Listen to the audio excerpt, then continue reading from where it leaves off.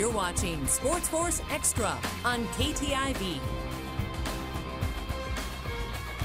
Welcome back, folks. Now, this week for our game of the week, we head into the Cornhusker State for a battle in one of the toughest districts in Nebraska, where each point could be the difference in your team reaching the postseason.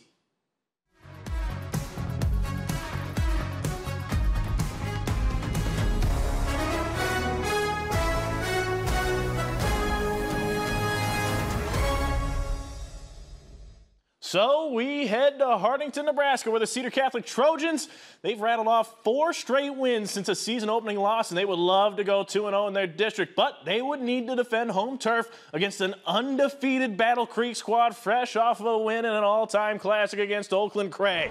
We now this game could have a massive impact on the C2 District 3 standings. We head on out to Hartington starting in the third quarter. Cedar Catholic leading by six. Battle Creek gets the QB sneak on fourth and one to keep the drive alive. Into the fourth quarter, and they would seal that drive with this pass from Jackson Metler to Aiden Pochop. And after the successful PAT, the Braves take a 14 13 lead. Later in the fourth, the Trojans, they're trying to answer here.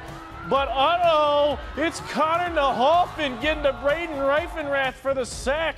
Trojans, they would pin the Braves deep, flip the field. That would then lead to Reifenrath going in for the go-ahead score on the QB sneak, but they would only lead by five after that. They go for two. Reifenrath takes the bootleg to the near front pylon, and Reifenrath is in.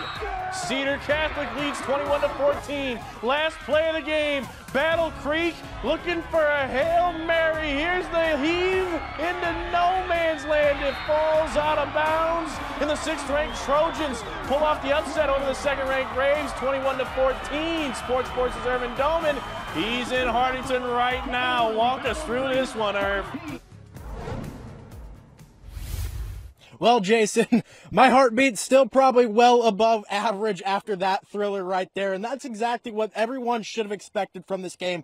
From the sixth ranked Trojans who have fought in every single game they've been in this year. Only one loss coming into this one, which was against the defending C1 champions in Boone Central. Now, Battle Creek, they fought in that early third quarter to take that lead back because basically that whole first half, as of people recounting to me on the sideline as to what I missed, they said Cedar Catholic was pretty in control right there. And then when Battle Creek got things going, momentum started to shift. And then Cedar Catholic, they had to settle in. And I tell you what, one of the keys to settling in was special teams. They had a beautiful punt that pinned Battle Creek inside of the five, and that led to a punt from inside the end zone on Battle Creek's side. And then that led to a beautiful punt return putting Reifenrath in position for that QB sneak that gave them the lead and an awesome bootleg and way to take a hit right there by Reifenrath to get in. And and really this was an all-time classic. And I talked with Reifenrath and Chad Cotto, the Trojans head coach, and they both said that this was going to be a dogfight. Everyone in the stands, everyone on the sidelines, they knew it. But this is exactly what everyone expects from this Class C2 District 3 featuring Norfolk Catholic, Battle Creek, Cedar Catholic, and even um, another team that's really well, it's blanking on the top of my head, but a loaded Class C2 District 3. That's what everyone expects, and Coach couldn't be more proud of his group. Uh, you know, I thought we got off to a good start. Uh, you know, we got a three and out, made them punt early, and, and we I think we went down and scored maybe on our first drive or early on anyway. And and it really gave us some some mental focus and, and, a belief that we could go out and win this thing. Coming into it, we knew it was going to be a dogfight. We knew it was going to be no easy task taking down a team like that, but you know we knew we were capable of it. We knew we had a great team, and you know it was an emotional emotional game, uh, a lot of intensity, and I felt like we brought that tonight.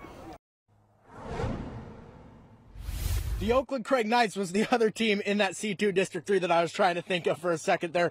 But coming up next week, it does maybe get a little easier for both of these teams. Cedar Catholic, they take on the Ponca Indians, and then Battle Creek, they take on West Point Beamers. So definitely these two teams are teams to keep an eye out for as we head into the postseason.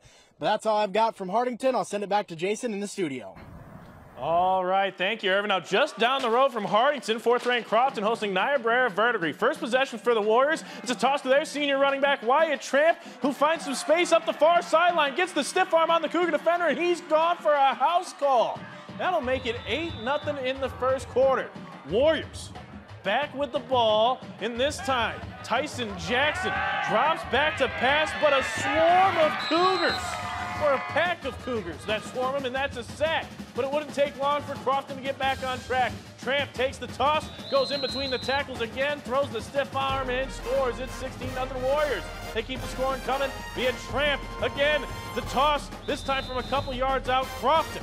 They take the win in this one, 56 to 16. At the DakotaDome, the Vermillion Tanagers take their shot at top-ranked Sioux Falls Christian. We'll start off Chargers with the ball. Braden Whitty takes the snap, takes it himself, sliding into the end zone there for the Chargers' first touchdown of the night. Later on here, Lincoln Prinz, he's going to take the ball.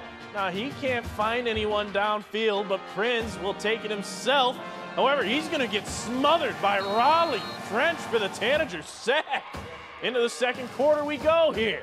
Sioux Falls Christian once again with the ball. Prinz steps back. This time he'll find someone downfield and he'll toss a dime to Cole Snyder. Snyder will finish the job taking it in for the touchdown. Chargers take the win in this one 43 to 7. Fourth ranked Dakota Valley hosting Beresford on homecoming night. The Watchdogs, though, looking to ruin it. Third quarter, Ashton Overly tosses this one down the field to a wide open Malachi James, and Malachi will take this one all the way for the touchdown. That's a big play there for Beresford. Later on for Dakota Valley, though, Drew Luckin takes the snap, and he'll sling it to Bennett Luckin or actually he'll sneak in for a Panthers touchdown. That puts them up 19 to 12. Into the fourth quarter we go. Drew Luckin. He'll give it to Bennett Luckin again, and again he'll ram his way through the Beresford D line into the end zone. Dakota Valley takes the win in this one, 33 to 12 wrap up our highlights. The Raiders of Gayville-Volin hosting Sioux Falls Lutheran. Already up 16 0 here. Spencer Karstens. He'll go to the air and he'll hit Hunter Weeben for his second touchdown of the game. That'll make it 23 0 before the half. Right, actually, sorry, right before halftime, Karstens again to a wide open Jordan Westerwald, and it's 30 0 at the break. Then the effort of the night. Looks like the Eagles have Carson sacked, but he gets away, delivers on his way down to Wyatt Melhoff for the score. Gayville-Volin gets the win in this one, 37 to 12. And hey, it's time for Fan Force. Let's go ahead and see what you guys were up to out in Siouxland tonight watching those games. Here we go, our first one. Melanie Cash. Hey, we know her husband. He works here. Thank you very much for sending that one in, Melanie. She was at the MOC Floyd Valley SBL game.